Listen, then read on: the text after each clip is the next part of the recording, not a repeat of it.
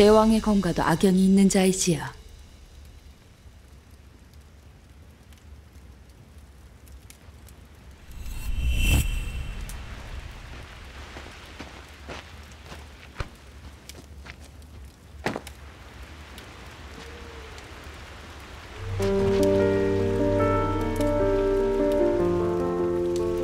너 뭐야?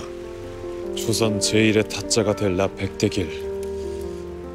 오늘부터 그쪽을 내 스승으로 모신다. 사자가 되고 싶다는 놈이 왜날 삽으로 모셔?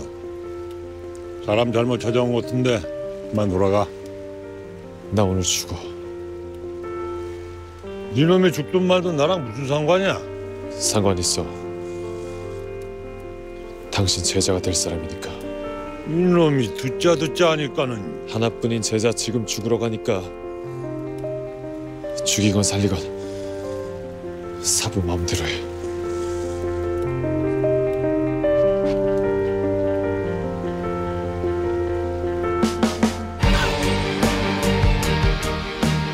그 신고 놈다 보겠네.